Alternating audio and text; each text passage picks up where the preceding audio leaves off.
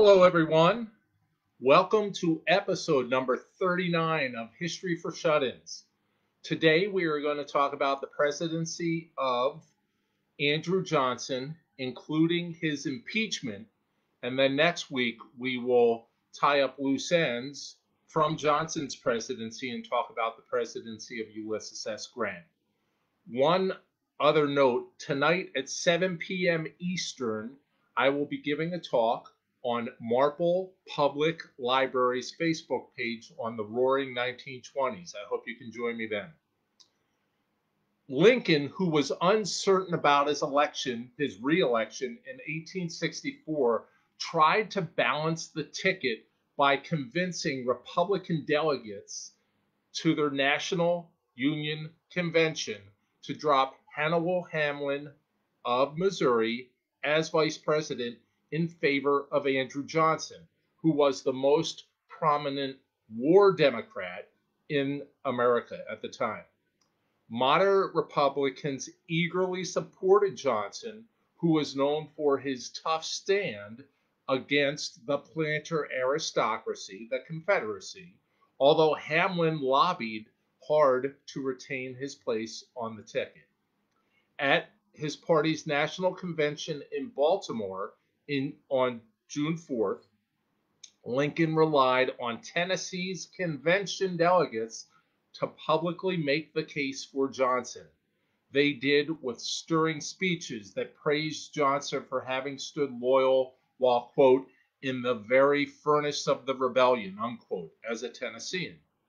Lincoln's backers in the North delighted in contrasting Johnson's rock ribbed loyalty to the Union with the less admirable record of McClellan's running mate, George H. Pendleton of Ohio.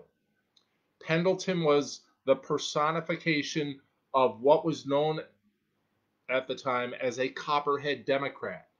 Copperheads wanted to make a peace settlement with the Confederacy. Johnson also strengthened Lincoln's appeal to the Union's working class, especially the immigrant Irish. Irish Catholic voters favored Johnson for his strong record against anti Catholicism while Johnson was governor of Tennessee. Johnson was also widely recognized as a champion of America's what were called yeoman Democrats small farmers, and village artisans everywhere in the Union. There were some radical Republicans who felt differently. Some called for a convention in Cleveland, which actually took place, and they nominated John C. Fremont. Remember, Fremont was the first Republican candidate for president back in 1856. They also called for General John Cochrane as the vice president. With Johnson on the ticket, Lincoln was strengthened with moderates even as he lost support from the right wing of his party. The Lincoln Johnson ticket, opposed by Democratic candidates George B. McClellan and Pendleton, went into the election with several advantages.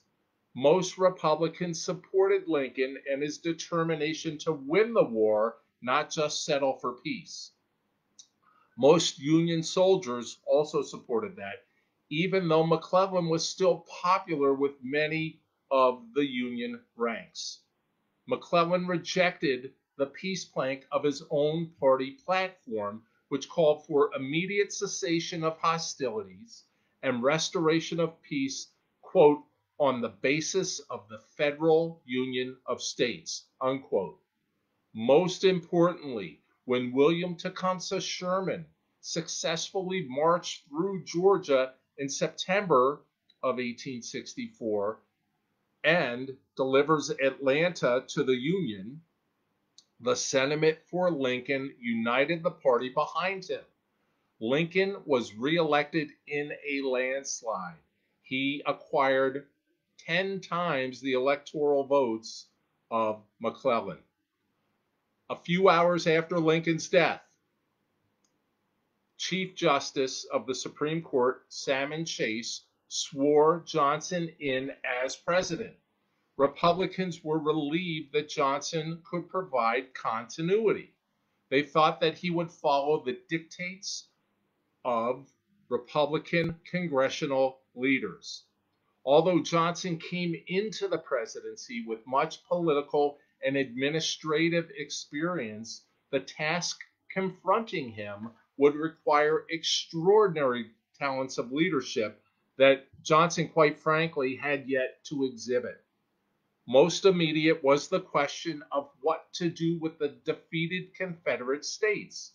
What rights would be granted to the four million former slaves, and what punishment, if any, would be applied to supporters of the Confederacy. The morning of Lincoln's assassination, Secretary of War Edwin Stanton presented to the cabinet the outlines of a Reconstruction program. The program would impose military rule and stiff conditions upon the defeated Confederate states for the restoration to the Union. This was a substantial difference or modification from Lincoln's earlier stand urging a quick return to equal status with few conditions beyond oaths of loyalty and abolishment of slavery.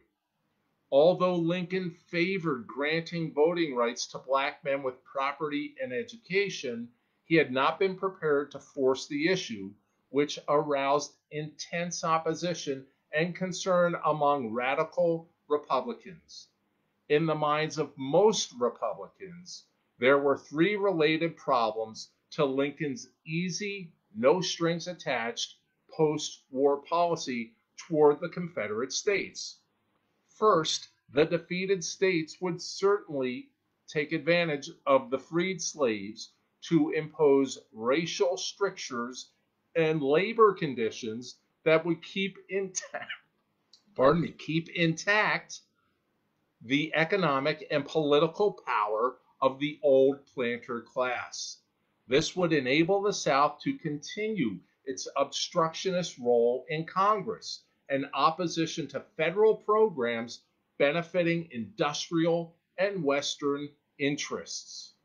Second, unless Southern blacks were enfranchised and Confederate leaders disfranchised, a united Democratic Party might win the congressional elections in 1866 and run and elect someone like Robert E. Lee for the presidency in 1868. As a new party, Republicans understood how fragile their hold on the government was. In a fully restored Union, the black vote was considered essential to continued Republican control of the presidency and Congress. Third, the presence of black soldiers stationed in southern states, the intense expectations of the former slaves for full civil rights and demands of abolitionist reformers for racial equality could not be ignored easily. We're still having these conversations today. At first, many radical Republicans assumed that Jackson shared their broad, expansive concept of federal power and their commitment to political equality for blacks. Although a strong Union man, Johnson had always believed in strict construction of the Constitution and states' rights, which did not include the rights of secession. He followed Lincoln's earlier reasoning that while individual traitors should be punished, the states had never legally left the Union nor surrendered their rights to govern their own affairs. He echoed Lincoln's view that 600,000 dead soldiers determined the issue that the South had been unable to leave the Union. So, how could the Southern states be treated as if they had? This is Johnson's argument. In his mind, Johnson believes the issue of what to do with the defeated southern states was simple. impose conditions upon their return to full standing, such as the irrevocable abolition of slavery written into their state constitutions and loyalty oaths as a condition of suffrage, but do not impose black suffrage as a condition of readmission. From April of 1865 through December of 1865, questions of Reconstruction were almost totally in the hands of Andrew Johnson because Congress had recessed shortly before he took the oath of office and did not reconvene until December of 1865. In those eight months, Johnson rushed to implement his own Reconstruction policies based upon his interpretation of Lincoln's program. He appointed provisional governors to the defeated states and required them to call special conventions to draft new constitutions that abolished slavery and renounced secession. After the ratification of these constitutions, newly elected governments were to send representatives to Congress, and the states thereby would be restored to the Union. According to Johnson's program, every Southern voter would have to swear an oath of loyalty to obtain amnesty or to be pardoned. Several classes of Southerners were not to be given amnesty, according to Johnson's plan. First, former federal officials who supported the Confederacy. Second, graduates of the military academies at West Point or Annapolis who served with the Confederacy during the war. Third, high ranking Confederate officers and political leaders.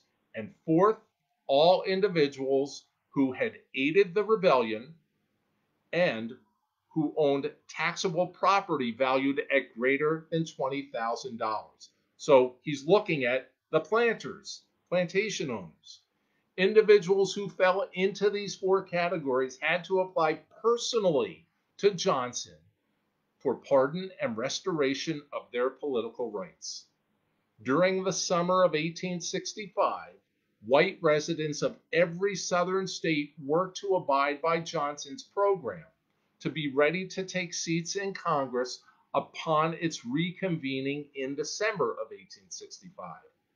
Surprisingly, Johnson actually hands out thousands upon thousands of pardons, enabling most members of the old planter class and many Confederate leaders to reemerge in power on the state level.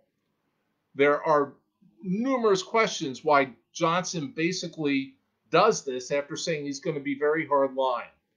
The thought, number one, underlying is Johnson's racism. His pleasure also taken in having the planter class come before him on bended knee to receive their pardons. His commitment to states' rights, his desire to build a new electoral constituency comprised of conservative Democrats and Republicans for a presidential bid in 1868, and his belief that if African American men were granted the vote, planters would control their votes and the middling white man would continue to be marginalized. Again, the yeoman, as we had mentioned earlier. In the rush to re enter the Union, some state conventions refused to reject secession and Confederate debt. Almost all of these states imposed severe laws that limited the freedom of former slaves. These were known as black codes. These laws required, with variations by state, former slaves to carry permits whenever they were off their old plantations, to observe curfews in town, and to have signed contracts of employment by the end of January 1866 or be arrested as vagrants. These codes were designed to force the former slaves into a slave like employment status on the plantations. Each youth was required to be apprenticed to an employer who could exercise parental authority over their wards. According to law, parental permission was not required. In many cases, the courts bound young men and women in their 20s as apprentices. Some state conventions disallowed the former slaves to own or rent farms.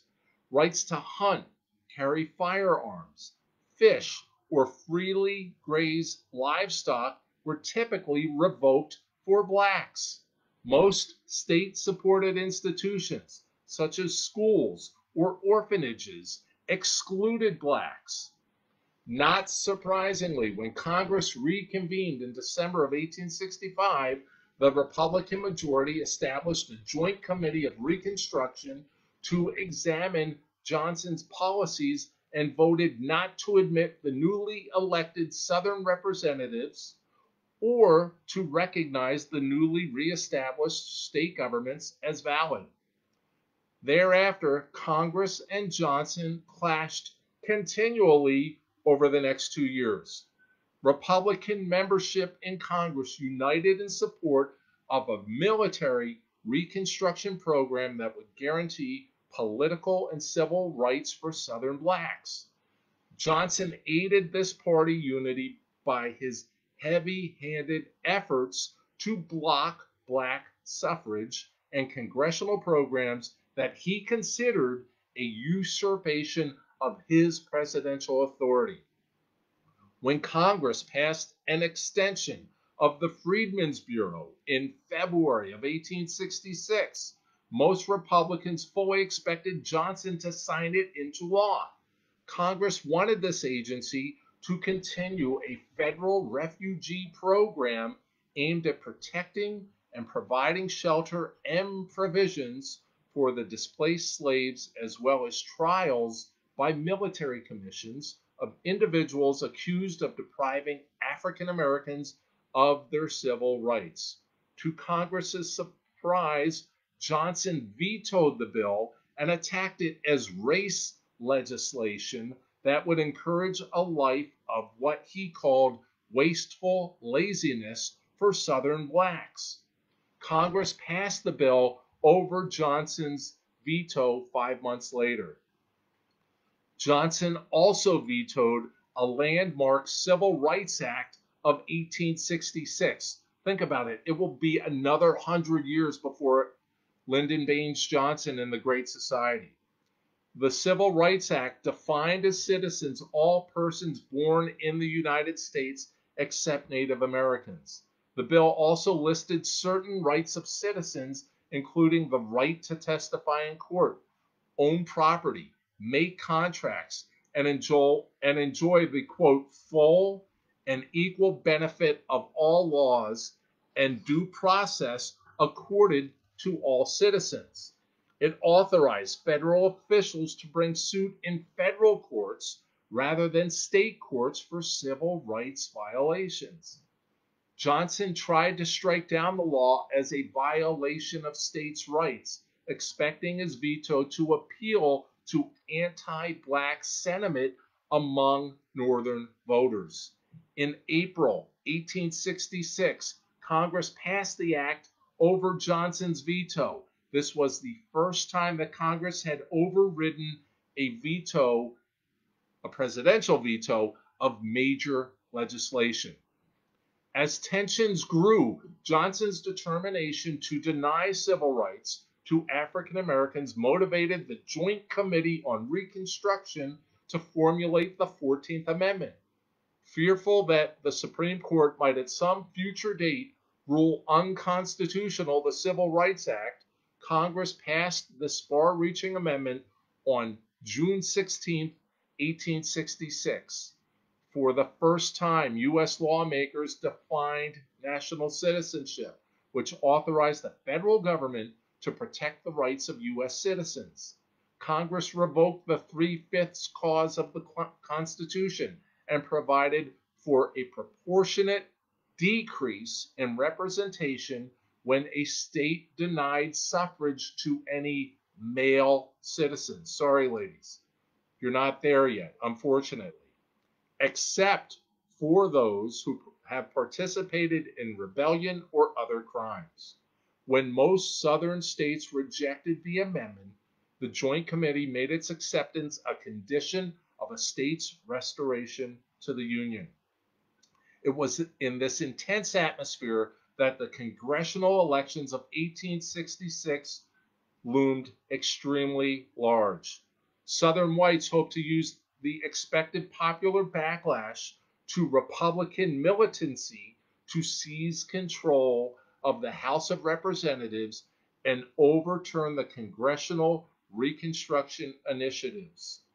Johnson hit the campaign trail, which up until this point was unprecedented. Now, of course, presidents are out there nonstop campaigning, not only for themselves, but for congressmen and senators. So, Johnson's what was called swing around the circle, unquote, tour backfired on him, however, as his blatant racism came to the forefront in his personal attacks on his opponents, offending many moderate Democrats and uncommitted voters. When Republicans won two thirds of both houses, the Joint Committee on Reconstruction passed over Johnson's veto the Reconstruction Act of March 8, 1867. This act divided the 11 southern states excluding Johnson's home state of Tennessee, into five military districts subject to martial law.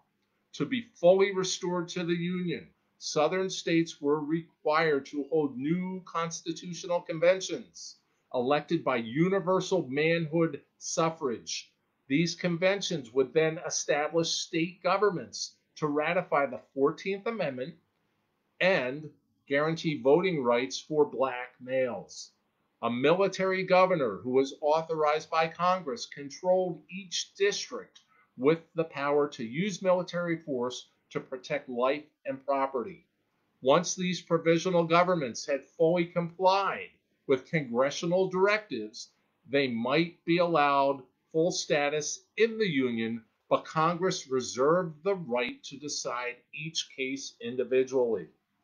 On March 2, 1867, Congress moved to limit Johnson's powers as president in several ways. The Command of the Army Act instructed the president to issue orders only through the general of the army. Then, at that time, it was U.S. Grant, who could not be removed nor sent outside of the capital without Senate permission. Then Congress passed the Tenure of Office Act. On the same day, which prohibited the president from removing certain federal officials without senatorial approval. It did this by specifying that officials appointed with the advice of the Senate were to remain in office until the Senate approved a successor. When Southern whites refused to cooperate in the calling of new constitutional conventions, Congress passed a series of supplementary Reconstruction Acts from March through July of 1867. These new pieces of legislation gave the military commanders broad powers to initiate the calling of the conventions and declare a convention valid if supported by a majority of the votes cast overriding the white boycott. Union commanders were expected to follow congressional policy and not directives from Johnson on this matter. By late 1867, most Southern states held constitutional conventions, and all of them were dominated by a Republican coalition consisting of white Southerners supporting Reconstruction, Northern transplants to the South, and newly enfranchised freedmen. From June 22nd through June 25, 1868, Congress readmitted seven southern states Arkansas, Alabama, Florida, Georgia, Louisiana, North Carolina, and South Carolina. they were all readmitted to full status in the Union. Johnson's vetoes of the Reconstruction Acts tried to preempt radical Reconstruction by associating it with vengeance, disunion, and subjugation. He called the congressional program an exercise in, quote, absolute despotism, unquote, that would, quote, Africanize, unquote, the South. He repeatedly claimed that the reunion of North and South would have been easy and certain if only Congress had not defied him. Although he believed he represented the will of the masses of whites in the, in the North as well as the South, Johnson was out of step with public opinion, and Congress easily overrode his vetoes. Thoroughly blocked at every turn, Johnson felt he had no choice but to challenge what he considered to be the usurpation of presidential authority in the Tenure of Office Act. Knowing he risked impeachment, Johnson challenged the act by dismissing Secretary of War Edwin Stanton on August 12, 1867, while Congress was out of session. He named Grant as the interim Secretary of War. When Congress reconvened in December of 1865, Johnson submitted his reasons to the Senate, but the Senate refused to concur with the, with the dismissal of Stanton under provisions of the law. Grant broke from Johnson on this. The crisis flared up again on December 20, or pardon me, on February 21st, 1868, when Johnson dismissed Stanton once again. On the 24th of February, the House voted to impeach Johnson, 126 to 47, without holding hearings first or having specific charges against him. Sound familiar? The House subsequently drew up 11 charges, principally associated with Johnson's alleged violations of the Tenure of Office Act and the Command of the Army Act, but also including charges that Johnson brought disgrace and ridicule to the presidency. The managers of the House of Representatives Impeachment Committee presented the articles to the Senate for trial on March 4th. The trial began with opening statements on March 30th, presided over by Chief Justice Chase. Johnson's legal counsel argued that Johnson fired Stanton to test the constitutionality of the Tenure of Office Act and that his action constituted neither a high crime nor a misdemeanor by any sensible definition of the terms. Voting on May 16th, the Senate failed to convict Johnson by one vote of the two thirds necessary by a vote of 35 to 19. Two subsequent ballots on the 26th of May produced the same results. The Senate adjourned as a court of impeachment. Sounds like just what we went through. The impeachment of Johnson, the first of three presidents to be impeached Johnson, Clinton, Trump.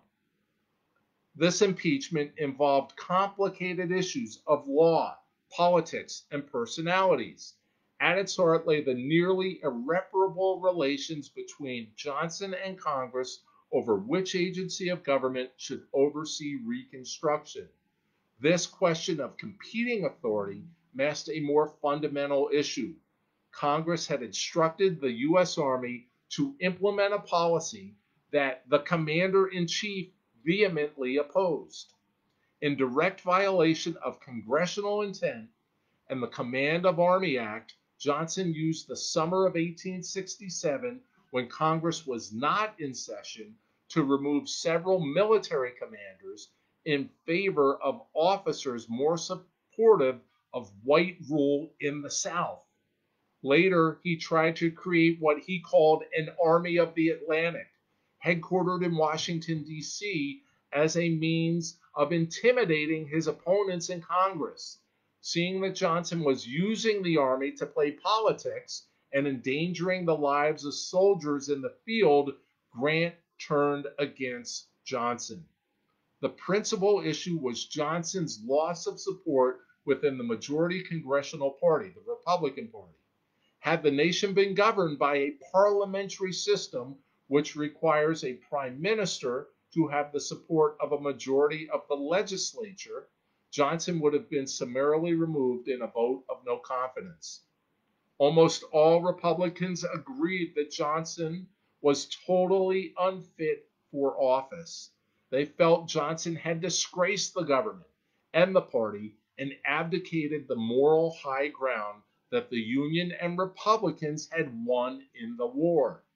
Article 10 of the impeachment charges arraigned Johnson for his quote, intemperate, inflammatory, and scandalous harangues, unquote, during the 1866 senatorial or and congressional election tour, the Swing Around the Circle tour. But these were clearly not impeachable offenses. This uncertainty worked in Johnson's favor. Also, because no vice president had been elected after Johnson's ascension to the presidency, his successor would have been Benjamin Wade, president pro tem of the Senate, of the Senate, pardon me, an extreme radical on Reconstruction and a soft money pro-labor politician feared by many northern businessmen. With Wade in the wings, many Johnson opponents were hesitant about voting to convict Johnson, especially those who thought that if Wade assumed the presidency, he might try for the nomination in 1868, blocking Grant. Also, Chief Justice Chase refused to allow deviation from the charges to discuss or include broader issues of policy. Again, sound familiar? We just went through this. In the end, the seven Republicans who voted to acquit, most of them supporters of Grant, were silently supported by their moderate party colleagues. Had these seven not indicated a willingness to acquit, others stood ready to change their votes and convict Johnson. Many Senate Republicans had decided to make it a close vote, but not a conviction, especially once it became clear that if Johnson was acquitted, he was prepared to cease his obstructionist ways for the rest of his term and stop his interference with Reconstruction and with military commanders and the War Department. The final vote maintained the principle that Congress should not remove a president from office simply because its members disagreed with him over policy, style, and administration of office. Again, sounds like a replay of what just happened. It did not mean that Johnson retained governing power. For the rest of his term, Johnson was without influence on public policy.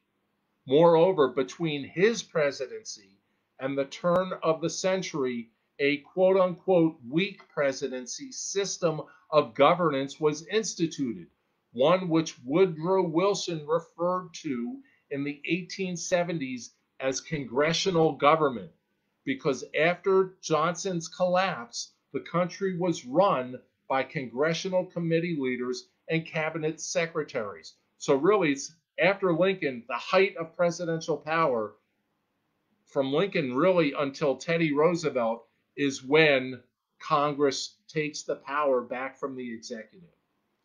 That is where we're going to end today. Next Wednesday, we'll pick up and complete discussion of the Johnson presidency and move into Grant's presidency. Again, tonight at 7 p.m., as a reminder, I will be leading a Facebook Live discussion on the Roaring 1920s on Marple Public Library's Facebook page from about I'll, I'll sign on at about 6:50 p.m. and we should be finished by about 8 or 8:15. Thank you so much for tuning in. Hope to see you tonight, and we'll definitely see you next Wednesday at 5 p.m.